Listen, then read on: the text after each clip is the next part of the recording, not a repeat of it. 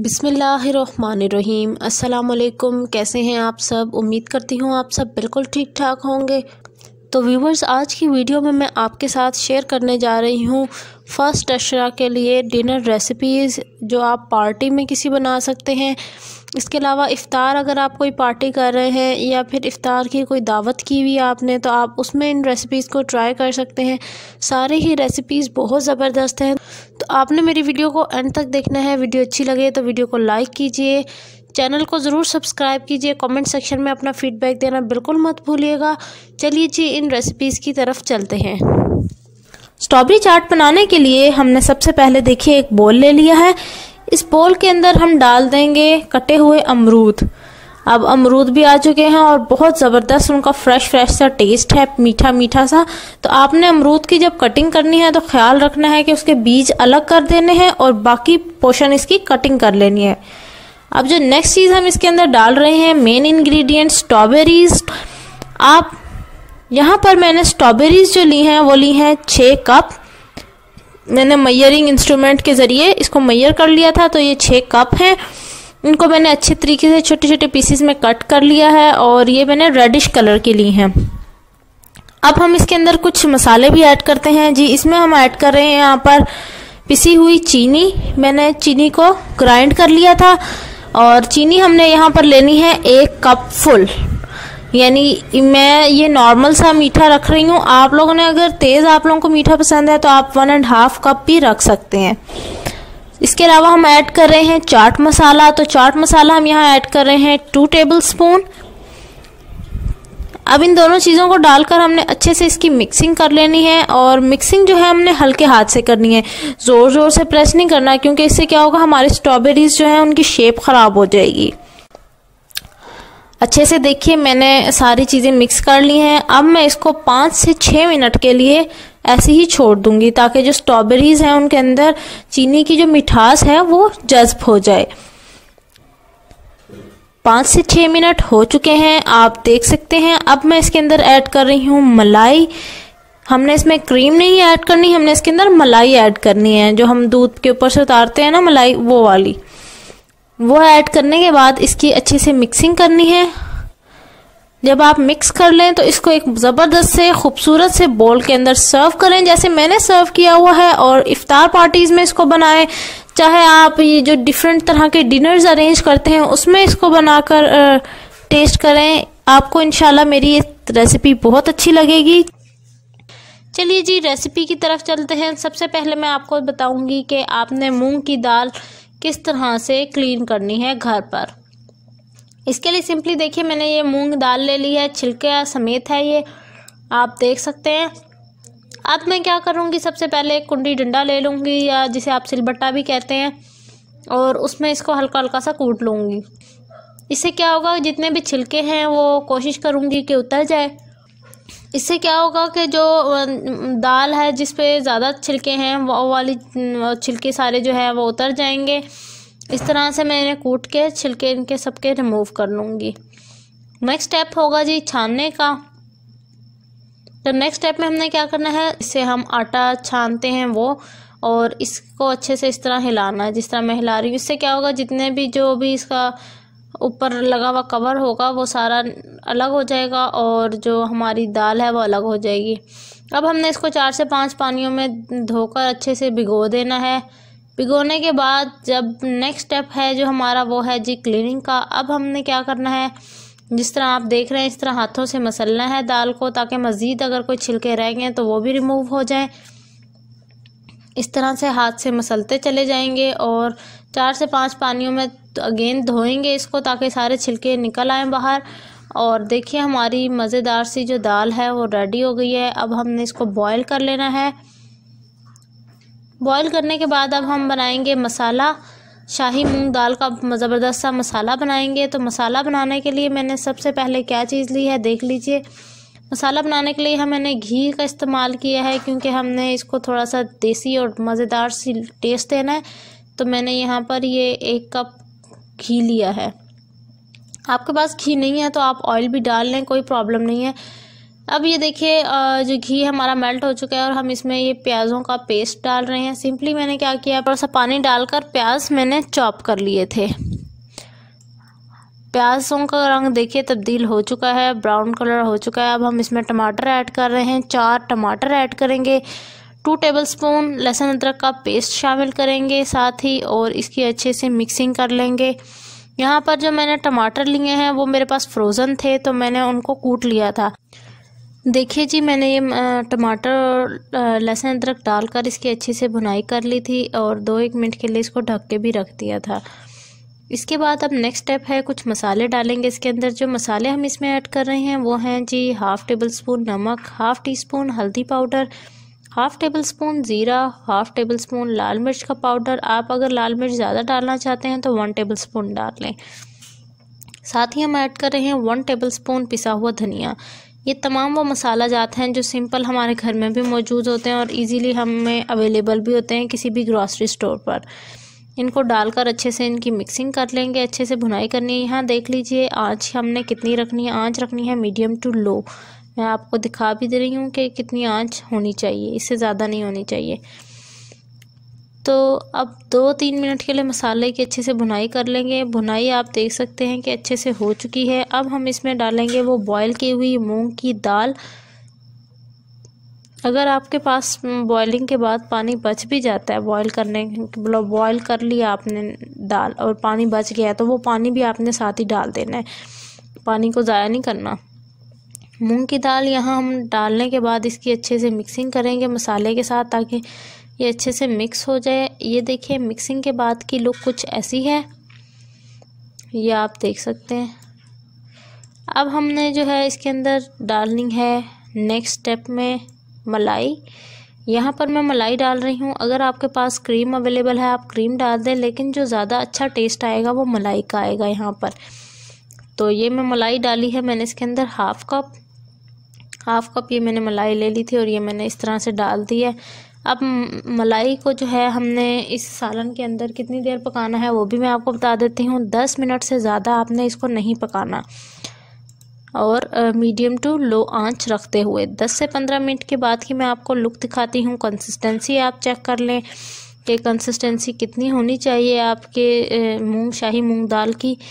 आप इन चावलों के साथ सर्व कर सकते हैं, पराठों के साथ सर्व कर सकते हैं।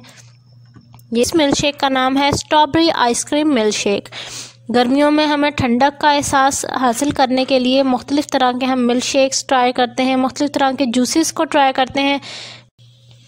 इसीलिए मैं आज आपके लिए लाई हूँ स्ट्रॉबेरी आइसक्रीम मिल्क शेक की ख़ास रेसिपी जिससे आपको ठंडक का भी एहसास होगा और ताजगी का भी। चलिए जी, देखते हैं कि ये स्ट्रॉबेरी आइसक्रीम मिल्क शेक बनाने के लिए हमें किन अज्जा की ज़रूरत है और ये किस तरह से बनाया जाता है। देखिए, इसके लिए मैंने जो चीज़ें ली हैं, वो नोट कर लीजिए। सबसे पहले मैंने ली हैं जी मज़ेदार सी फ्रेश फ्रेश स्ट्रॉबेरीज़ और ये मैंने ली हैं एक कप वन कप स्ट्रॉबेरीज ली हैं, साथ ही आइसक्रीम ली है मैंने। मैंने वनीला आइसक्रीम ली है। ये आपकी अपनी चॉइस पर है कि आप कौन सी आइसक्रीम यूज़ करना चाहते हैं। साथ ही अब हम यूज़ करेंगे मिल्क वन कप एक कप हमने मिल्क का यूज़ करना है, साथ ही साथ ही मैंने शुगर यहाँ यूज़ किया है टू टेबल स्पून यहाँ पर हम चीनी की मकदार ज़्यादा रखेंगे क्योंकि जो हमारी स्ट्रॉबेरीज़ होती हैं, वो फ्लेवर में तुरश होती हैं, यानी खट्टी होती हैं। तो इसकी वजह से हमने चीनी की मकदार ज़्यादा रखनी है। चलिए जी, अब नेक्स्ट स्टेप की तरफ़ चलते हैं। मैंने ले लिया है यहाँ पर, देखिए ग्राइंडर ग्राइंडर के अंदर हम फटाफट से इन, इस मिल्क शेक को रेडी करेंगे। सबसे पहले हम इसके अंदर ऐड कर देंगे जी स्ट्रॉबेरीज़ जो फ्रेश थी और बहुत ही मज़ेदार सी रेडिश कलर में। इसके साथ ही हम ऐड करेंगे मिल्क वन कप यहाँ पर मैंने चिल्ड मिल्क का यूज़ किया है। ठंडा दूध का इस्तेमाल करने का मकसद ये है कि हम आइस क्यूब्स ना डालें, क्योंकि जो हमारे मिल्क शेक का टेस्ट है, उसकी कंसिस्टेंसी है, वो ख़राब हो जाती है जब हम उसमें आइस क्यूब्स डालते हैं। तो नेक्स्ट चीज़ जो हम डाल रहे हैं, वो है जी शुगर चीनी मैंने इसके अंदर डाली है जी टू टेबल स्पून साथ और साथ ही हम आइसक्रीम डालेंगे एक ये एक पीस मेरे पास दो पीसीस हैं पर हम सिर्फ़ एक पीस अभी डाल देंगे। एक पीस में आपको डेकोरेशन के टाइम बताऊँगी कि आपने आइसक्रीम मिल्क शेक को किस तरह से डेकोर करना है। देखिए जी, मैंने इसको ब्लेंड कर लिया है। आप देख सकते हैं कितने ज़बरदस्त सी कंसिस्टेंसी आ गई है। थिक थिक सी, बहुत ही फ्रेश और मीठा सा ये हमारा फटाफट से मिल्क शेक रेडी हो गया है। आप इसको रमज़ान में ज़रूर ट्राई कीजिए। इफ़ार पार्टीज़ में आप इसको बनाकर सर्व कर सकते हैं। इसके लिए मैंने सबसे पहले एक बड़ी सारी परांत ले लिया बड़ा बर्तन ले लिया क्योंकि दही बल्ले अक्सर टूट जाते हैं जब हम उन्हें छोटे छोटे बर्तनों में बनाते हैं। तो इसलिए मैंने ज़्यादा मकदार में बनाने थे तो मैंने ये बड़ी सारी परांत ले ली। सबसे पहले हम प्रांत के अंदर डालेंगे दही। यहाँ पर मैंने जो दही लिया है, वो फुल ये बड़ा वाला बाउल देख रहे हैं आप, ये मैंने दही ली है और कोशिश की है कि जो है, मीठी दही का यूज़ करूँ, खट्टी दही का इस्तेमाल ज़्यादा ना करूँ। तो ये मैंने दही ले ली, साथ ही हम अब डालेंगे चटनी। अब चटनी मैंने बनाकर पहले ही फ्रीज़ की हुई थी तो चटनी किस तरह बनाई? मैंने धनिया, पुदीना और हरी मिर्च। इन तीनों चीज़ों को अच्छे से ब्लेंड कर लिया, अच्छे से कूट लिया और इसको फ्रीज़ करके मैंने क्यूब्स बना के रख दिया। ये फिर इजी हो जाता है, रमज़ान में हमारे दही बल्ले या इस तरह चना चाट वगैरह फटाफट बन जाती है। यहाँ पर जो मैंने चटनी ली है वो हाफ़ कप है। यानी इसके अंदर हरी मिर्चें और हरा धनिया और पुदीना है सिर्फ़।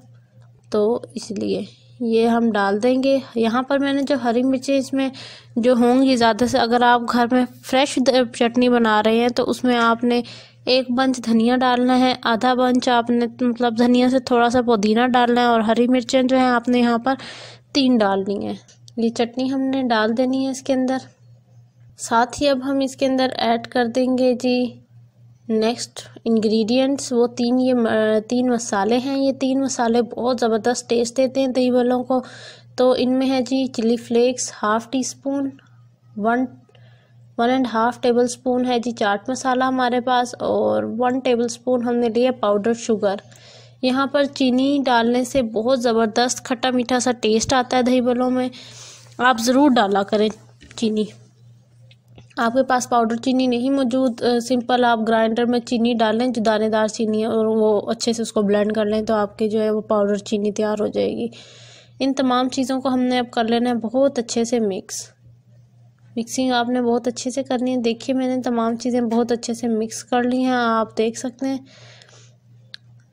अब हमने इनके अंदर कुछ चीज़ें डाली, कुछ वेजिटेबल्स डालनी है। तो सबसे पहले मैंने लिया है जी प्याज, और प्याज मैंने लिया है चॉप किया हुआ। ज़्यादा भी चॉप नहीं किया, नॉर्मल सा चॉप करके इसको, और ये मैंने लिए हैं पाँच बड़े साइज़ के प्याज। ये प्याज हम इसमें डालेंगे। याद रखिए, अभी हमने नमक नहीं इसके अंदर ऐड किया। अगर हम नमक अभी ऐड कर देते तो इससे पान प्याज जो है, वो पानी छोड़ देते हैं और हमारे दही बोले ख़राब हो जाते हैं सारे। ये प्याज मैंने डाल दिए इसके अंदर। इसके अलावा हम इसके अंदर ऐड करेंगे टमाटोस, यानी टमाटर। टमाटर यहाँ पर मैंने लिए हैं पाँच मीडियम साइज़ के कटे हुए। ये क्यूब शेप में मैंने इसको काट लिया जैसे ऑमलेट कट होता है ना, सेम उसी तरह। ये टमाटर हम डाल देंगे। इसके अलावा हम ऐड करेंगे खीरे। खीरों से ये इनका टेस्ट बहुत हेल्दी हो जाता है और ये हमारे लिए अच्छे हैं। खीरे हमारे वैसे भी पानी की कमी हो जाती है अक्सर अफ्तारी के बाद रोज़ों में। तो इसलिए हमारा जो पानी कम हो जाता है हमारे जिसम में, हमारी बॉडी में तो उस पानी की क्वांटिटी को ये कंप्लीट करता है खीरा। तो अब हम यहाँ खीरा डाल रहे हैं। मैंने स्किन नहीं इसकी पील की, आप बेशक स्किन पील करके डाल लें। ये चार खीरे लिए थे, उनको कट कर लिया था। ये ऐड कर देंगे जी। इसके अलावा हम ऐड करेंगे इसके अंदर आलू। आलू भी मैंने जो है छः लेकर उनको मीडियम साइज़ के उनको बॉईल कर लिया था। इन्हें मैंने कट कर लिया था क्यूब शेप में ही। इसके अलावा हम ऐड कर रहे हैं यहाँ पर चने। मैंने बॉयल्ड चने लिए हैं। चने भी मैं पहले ही बॉयल करके फ्रीज़ कर देती हूँ। तो ये इसलिए आपको ये नज़र भी आ रहा होगा फ्रोज़न है। चने मैंने इसके अंदर ऐड किए हैं। आप देख लें, ये कम अज़ कम टू एंड हाफ़ कप तो हैं चने। ये डालने के बाद अब हम डालेंगे एंड पर इसके अंदर फुल्कियाँ। ये जिन्हें हम भल्ले भी कहते हैं, ये मैंने रेडी किए हुए हैं। आपने अगर नहीं मेरी ये रेसिपी देखी, मैं बेसन के हेल्प से बनाती हूँ। तो मैं आपको आई बटन में लिंक दे दूँगी कि मैंने किस तरह से ये दही फुल्कियाँ के लिए जो है, फुल्कियाँ रेडी करती हूँ। ये भल्ले डालेंगे हम इसके अंदर। जितने आपको भले अच्छे लगते हैं ना, जैसे मतलब बेसनी चीज़ें तो सबको पसंद होती हैं तो जिसको ये ज़्यादा डालने हैं, वो ज़्यादा डाल सकती है। हमें ज़्यादा अच्छे लगते हैं तो इसलिए हमने ज़्यादा डाले ये सारी चीज़ें अब हमने मिक्स कर लेनी है दही के अंदर। अच्छे से इनकी मिक्सिंग करनी है हैंड की मदद से ताकि हमारी चीज़ें टूट ना जाए सारी ना, ये भल्ले वगैरह और ये सारी चीज़ें टूट जाती हैं अक्सर। तो इसलिए देखिए जी, मज़ेदार सा यमी सा जो हमारा दही भल्ले हैं वो रेडी हो चुके हैं। आई होप आपको ये वीडियो अच्छी लगी होगी। अगर आपको ये अच्छी लगी है तो ह्यूज सा थम्स अप दीजिए। आप अब जब आप खाने लगें, जब थोड़ी देर रह जाए अफ्तारी से, तब आप इसमें वन टेबल स्पून नमक ऐड कर दें। अभी अभी तो नमक मैंने इसमें नहीं ऐड किया तो आप एंड पर ऐड कर दीजिएगा। ये थी जी आज की वीडियो। आई होप आपको ये वीडियो अच्छी लगी होगी। अच्छी लगी है तो थम्स अप दीजिए। मुझे दीजिए इजाज़त। इंशाल्लाह नेक्स्ट वीडियो में मुलाकात होगी। अल्लाह हाफिज़।